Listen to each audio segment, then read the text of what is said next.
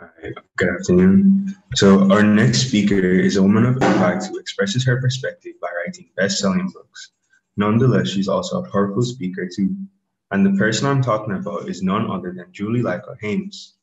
Julie believes in humans and is deeply interested in what gets in our way. She's a New York Times bestselling author of the Anti-Helicopter Parenting Manifesto, How to Raise an Adult, which gave rise to a TED Talk that has more than 5 million views. Her second book is the critically acclaimed and award-winning prose poetry memoir, Real American, which illustrates her experience as a Black and biracial person. In White Spaces, a third book, Your Turn, How to Be an Adult, is also out now.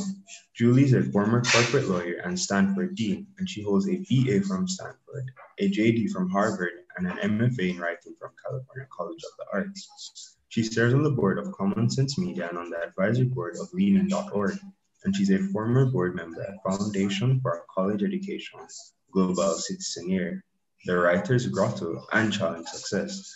She also volunteers at the hospital program No One Dies Alone. And today, Julie will be speaking on the importance of listening to your own voice and honoring what you hear. And after that, the audience will also have the opportunity to ask Julie their own questions. So without further ado, the stage is all yours, Julie. Thank you for that introduction, Karsten. Nicole, thank you for reaching out and inviting me to be a part of your wonderful event today. I'm here in the San Francisco Bay Area in California. I know you've been at this for a long time this morning. I hope it has been a wonderful event. Um, I'm really honored to get to be with you. I'd love to see more people put in the chat where they're from. I'm seeing Morocco, Indonesia, Kenya, Dubai. Um, everybody else who hasn't yet answered that question, put it in there because it's just lovely to see um, the global nature of this event. Beautiful, beautiful, beautiful. I want to give a shout out to you as a generation. You appear, as far as I can tell, you are largely Gen Z, Jamaica, India. And um, just as Demoye was singing about in her beautiful song with her beautiful voice, beautiful lyrics, there is something incredibly combustive about your generation. You are making things happen. You are not sitting around waiting. You are not sitting by the wayside. You're not waiting for people older than you to make things happen. You seem to have come into this world knowing that time is urgent, that circumstances are, in many respects, um, highly problematic, if not dire. And you've decided as a generation, hey, it's on us. We're going to do something about this. I'm Gen X, I'm 53.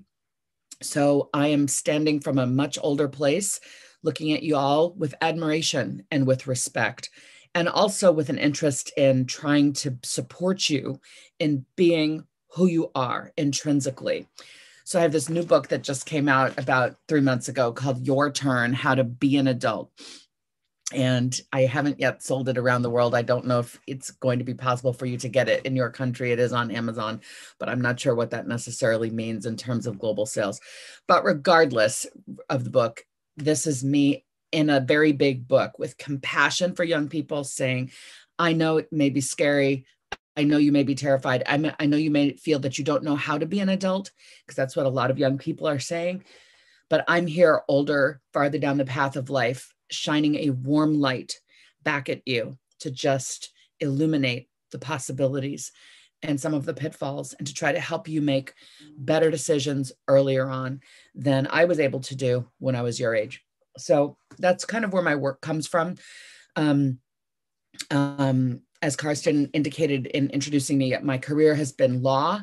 And then I was a dean at Stanford University, meaning I looked after uh, many aspects of the student experience. Um, and now I'm a writer and speaker full time. And I'm a mom. I have a 22 year old son and a 19 year old daughter. And um, so that's that's sort of where my work comes from. I have a deep compassion for humans. Um, many of us do. My compassion I'm fairly certain comes from the fact that when I was born, my Black father and white mother were transgressing the rules of society by daring to fall in love, daring to be married, daring to have me. right? I'm 53. And to be mixed race then in 1967, when I was born, was to be not just an oddity, but problematic. Um, and so I come from people who broke society's rules um, in order to fall in love and be in love and, and bring me into the world. And so I think who I am is informed by that rebelliousness, by that transgressiveness. Society's rules and norms um, are often excluding so many of us from full participation. And I came into this world insisting, no, no, no, I, you know, I want to matter. And I'm going to do my darndest to try to matter, regardless of what other people think of me. Um, I want to share with you a quote from a wonderful poet who died recently, an American poet named Mary Oliver. In one of her poems, she says, Tell me, what is it you plan to do with your one wild and precious life? Tell me, what is it you plan to do with your one wild and precious life? I want you to sit with that. I want you to continually be asking yourself that today and next week and next year. And as you age, I'm still asking myself that. I think it's a really important question that should always be there, beckoning us, reminding us it's your one wild and precious life. It's yours, it's not anybody else's. It's yours to do with what you will. And I'm interested for all of us in what we want out of our one wild and precious life and in what gets in the way of us living that life. Let's face it, particularly when we're young, often our minds are filled with the voices of other people our parents, our extended family members, our whole ethnic community, our peers, society, media, influencers, all of those voices are in our head telling us, you should do this. Oh, don't do that. You ought to be a this. Oh, don't do that. Um, in a personal realm, these are the people we want you to marry. Don't marry them, right? This is the person we think you are. You're not of that. So we have all this noise in our heads that's developed over years that we're trying to accommodate. Oh, I'm supposed to be this. I'm supposed to love these people. I'm supposed to do this work. But I'm here rooting for all of us, and especially young people on the cusp of becoming your adult selves, to say, okay, that's other people's judgment or other people's opinions, other people's expectations. But who am I? What do I want? I want you to ask yourself these questions What do I want to do with my one wild and precious life? Another way to ask it is What would I do or what would I choose, whether for work or what to study or with whom to be in love, if it was just up to me? What would I do if it was just up to me? You can safely ask yourself that in your own mind, and you must because your own psyche, spirit, soul, being heart, wherever you think these innermost pieces of information lie, that self of yours will tell you the answer to that question. What would I do if it was only up to me? If nobody else was judging or if no one else's opinion mattered, what would I do? What would I choose? The better you get at asking yourself that question, the louder the answer will come within your self and then you'll be able to drown out increasingly the expectations and judgment and needs of all these other people who may love you very much. Yes. And whose life is it? Yours. Okay. It's your life. And it will be marvelous and impactful and joyful if you can find the courage to listen to your own voice and then honor what it tells you. I want to be a this. I want to study this. I want to be in relationship with this person. Okay. So I'm here rooting for that to happen. Some of us feel like a little dog on a leash, dragged down the path of life by a parent or auntie, uncle, grandparent society's expectations, right? We are dragged toward the career, um, the life other people have in mind for us. And I'm here to say you are not a pet on a leash. You are not someone else's property. You are your own wild and precious being. And I want you to get out there and be who you are and get better at being who you are. I was, um, I'm gonna. I'm gonna close by telling you a brief bit of my personal journey. Um, how am I doing on time, Nicole? Do I have time for five more minutes of story before Q&A? Problem, you have enough time. Don't worry, take your time. It's fine. Okay. Um, when you bring us someone who speaks for a living to, to a seminar, a webinar, I tend to take a long time. I'll try to keep it short. Okay, so uh, just a brief bit of my journey um, because it informs the advice I'm trying to give you. So I came into this world as black biracial kid, very light skinned, uh, but in America, at least, uh, when you have skin this color, you are definitely not white, and the many white people um, find you problematic. That was my reality. I grew up in white spaces. My father was a physician, and um, so I was often the only child of color in my entire school, in my neighborhood, all of that. And um, I learned from a very young age that something was wrong with my Black daddy and with me too. I learned that at about age three or four, just from the nasty looks of strangers as daddy and I would walk down the street. And that began to worry me and it began to trouble me. And then I would have experiences in schools where I would be excelling and my teacher would refuse to put me in the higher um, level of whatever class it was. And even though i was tested and they were they could prove that i was capable my teacher um, just uh, just refused to see what what i was clearly capable of doing and even taunted me about it.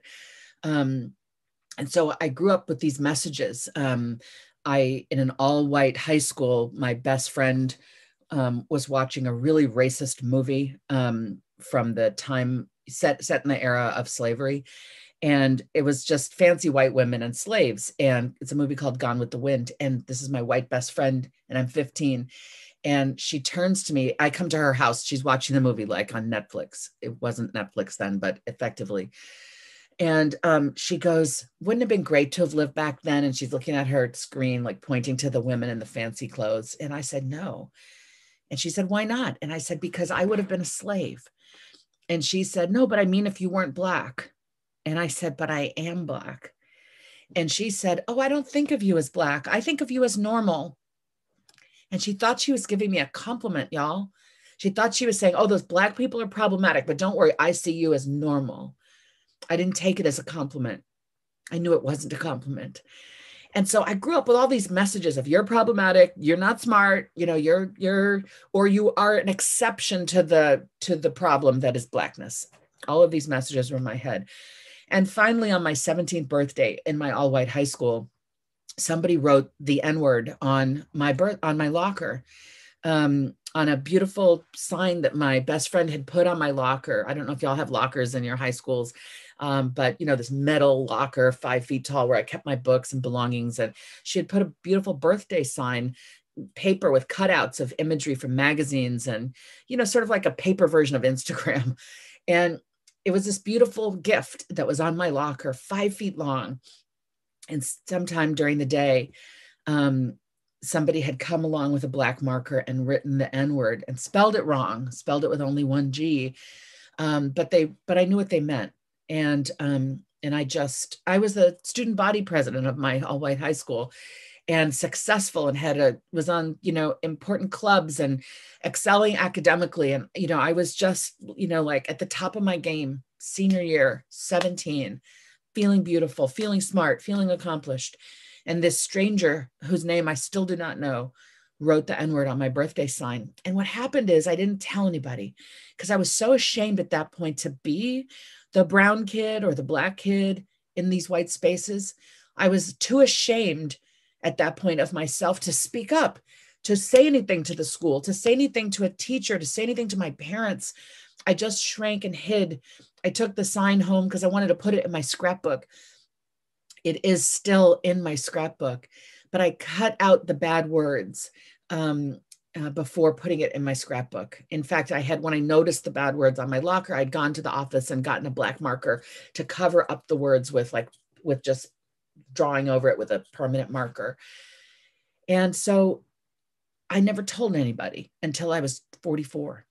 And I spent the years from teenagehood until my late 30s just trying to never be called the N word again, just trying to please white folks, just trying to be the person they valued. So I went to law school to try to be a lawyer who would help people and make a difference in the world, you know be an advocate for those who need an advocate who don't have a voice who are marginalized and oppressed.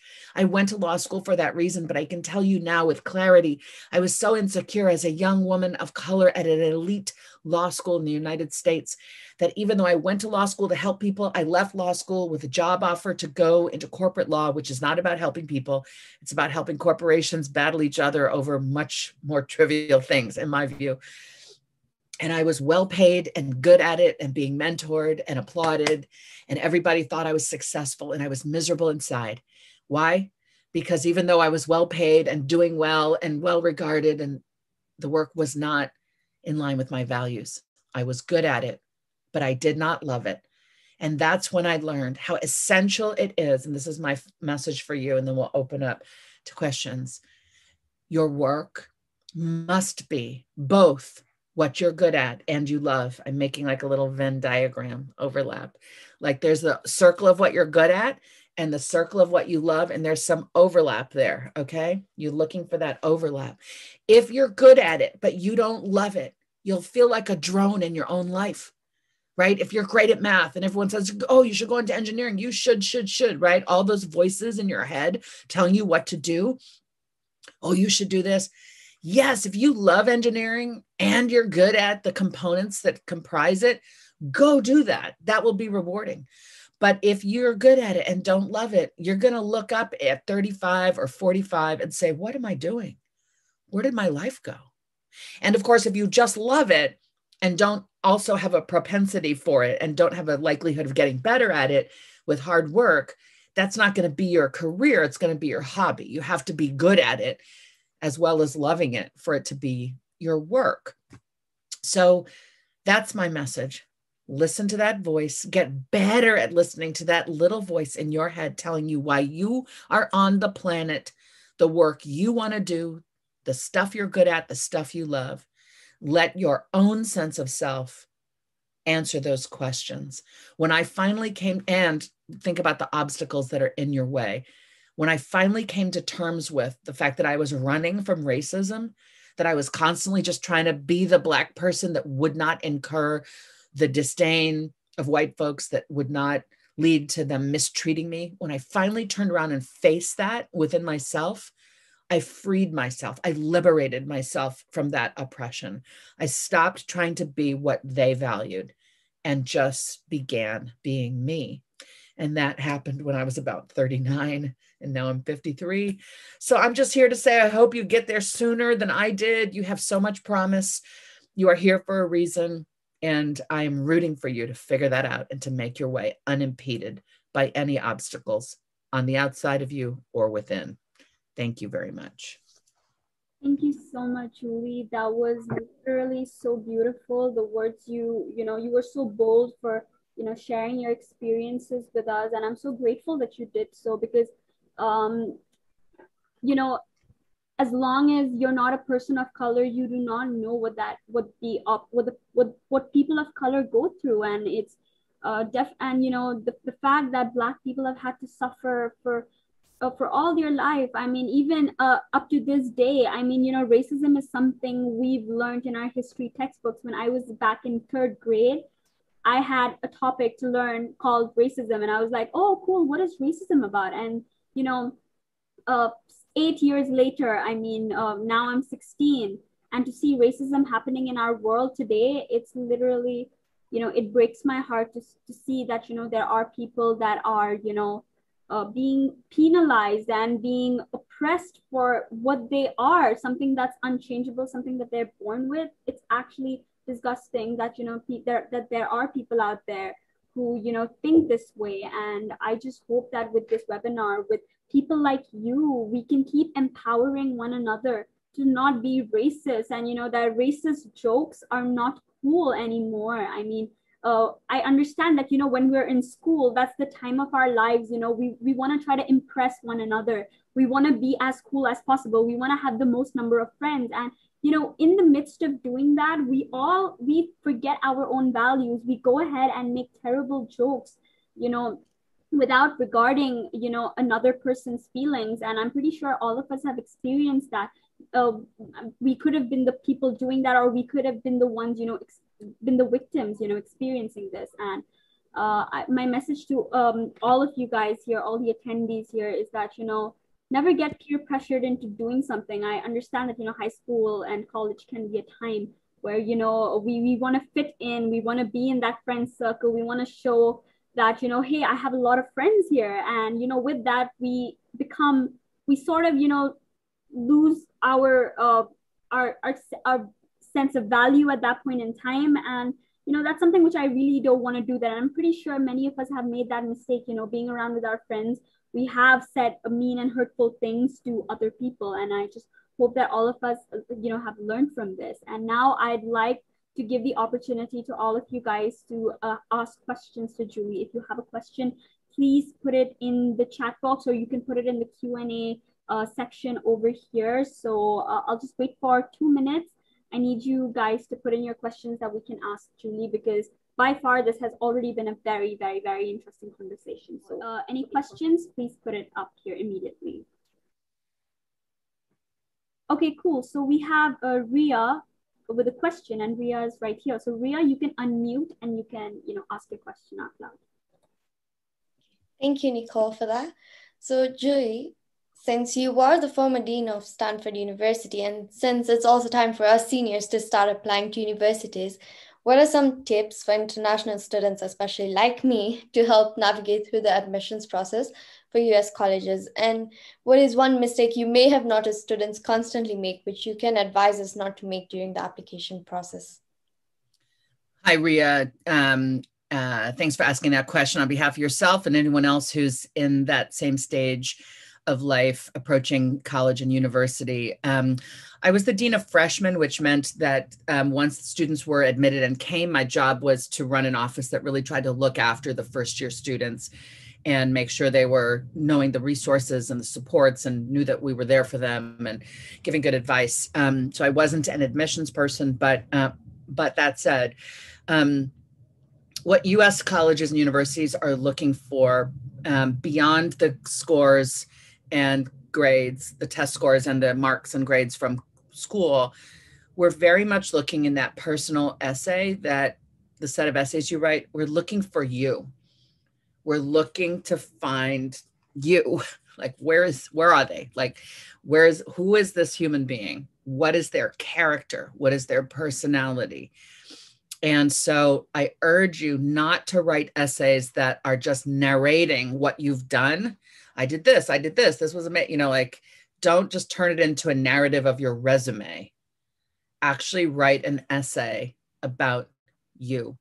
Not, oh, I'm so amazing, but just, you know, just pick something small that matters to you, that demonstrates your character, your personality, you know, things you've experienced. Just pick something that you can, that you know well about yourself because it will reveal you. It is very much in, in other countries, it's often just about grades and scores.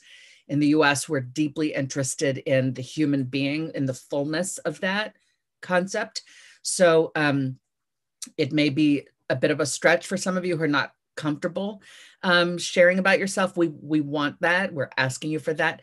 And your letters of recommendation should be written by people, not the most famous person you know, but the person who knows you well. So, a teacher you've had maybe in a few classes who has seen your growth, a coach or a mentor who has seen you develop from a younger child into the um, young adult you are now, who can really write about your journey, your growth, who you are, what you will bring to a campus. A lot of people make the mistake of, oh, I know somebody in the ministry of whatever, I'm going to have them write a letter. Well, it's not about an influential person writing a letter. It's about a good letter, and, and only someone who knows you well can write a good letter. So that's my advice around essays and around your letters of recommendation. Hope that helps.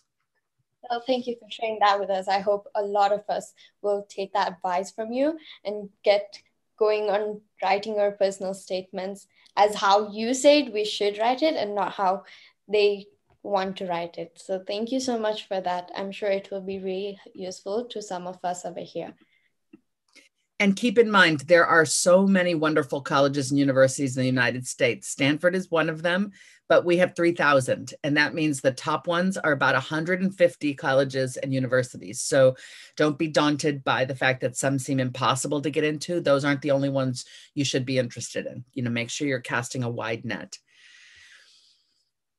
All right, so uh, the next person to ask the question over here is Alicia. So Alicia, since you're right here, you can go ahead with your question. Um, hi, Julie. Um, I have a couple of questions to ask you, but before that, I just have to say your words are really inspirational because you actually recalled a few memories of mine, and um, you are such an iconic figure, and um, I truly admire you. And your this your story is just so it actually it's heartbreaking because it still happens today and it makes me feel so sad because it did happen to one of my friends and it still it still hurts but um the first question i would like to ask you is this that um so when i was little in primary school one of my friends she was a dark color and people just you know looked at her in like a really good way even though we're living in dubai and it's a quite a tolerant country but you know people didn't give her the respect she deserved. She was she was like no one told her on her face okay you're you um discriminated her on her face but you know they did talk behind her back and i really hurt because i i felt so heartbroken and um she didn't have a voice to kind of speak out and be like you know what i am i am a person i i have a life i it doesn't matter what color I, I that's God's choice. Like I did not choose to be brown or I didn't choose to be white. You can't tell me that. And you know, I really want to know what advice would you give to people who uh, go through the same phase, like who are not able to hear their own voice. That's like it's it's held within them, but you just can't get it out. You know. Yeah, um, I'm so glad that you were her friend. Is my first thought. Um, I wrote this is my uh, this book came out in 2017. It's called Real American, and that's me when I was a baby, um, looking angry. Look, I already know something's up. I know that something is up. I called it Real American because too often the narrative in my country is uh, real Americans are the white people, and the rest of us they think are not. So I was reclaiming that term. So number one, I'm glad your friend has you. Number two, we all are desperately hungry to be seen and to know we matter, not to everybody. We just need even one friend can make such a difference. So um, if you can be, if we can all be that friend um, that someone else needs to sit down and say, you know what? You are beautiful. I don't care what these other people say. You are beautiful. You matter to me. I love being friends with you. Um, that person, she is just looking, she needs a safe space where she can be herself we all do. And the older we get, the more in charge we are of where am I going to live so that I can feel not just safe, but cherished. We actually want to feel cherished. We want to know that our family members cherish us, our friends cherish us. We want to be in workplaces and in neighborhoods where, all right, cherish is maybe too big a word for strangers like you know in the community but like we want to be accepted not just tolerated right? We want to be embraced. We want to feel a sense of belonging and we can offer that to each other with eye contact and a smile and just a deep engaged conversation about how are you? How's life? You know let's talk. I want to get to know you better. You know um, deepening those human connections one by one is the way to heal the world is one way to heal the world um, so let's all show up um, as good friends for everybody, seeing everybody as if they are our brother, our sister, our uh, our own selves. Um, that you know can really begin to make all the difference. Thank you so much, Julie. I think all of us here who have had past experiences or friends who've gone through this would have definitely taken something from you. I'm pretty sure if my friend was here today and she heard you speak about all of this, she would have definitely benefited from this. And um, I speak for everyone that you know we should you know help the ones who are vulnerable to all these issues. I mean, that's what humanity is all about. We have to help each other you know overcome these issues because the society has a mental state of you know just comparing and creating divisions which is not what we're supposed to do. Because at the end of the day we're we're gonna we're gonna have to leave the world one day and we have to create bonds between humans and not create divisions. And that's not what we're supposed to do. So i think each one of us here have to you know lend a helping hand and stay beside them when they need us. And that's the only way to overcome this problem. So thank you so much julie absolutely wow i immensely want to thank you julie for your efforts towards our event the way how you talk and the elegance of your explanation really grappled me till the very end and I was certainly inspired by all what you have covered today. And with that, I need to I need to mention my deeper sense of appreciation. I extend my thanks to you for your enormous contribution towards making our event a success. And I wish you the very best in all your future endeavors. Thank you so much, Hamza, Nicole, everybody, Karsten, um, everybody who's here. I really appreciate having been invited. I think you're doing an amazing event. And I'm honored to have been invited. I'm popping my website in the chat in case you want to follow me. Um, uh, please do. I would love to be in touch. I would love to be a part of your journey. Um, and I'm putting in my social. That's my social everywhere. Not yet TikTok because I'm too old, but you know, maybe one day. I wish you all the best. Thank you so much for having me. Thanks a lot, Nick. Uh, thanks a lot, Julie, for coming.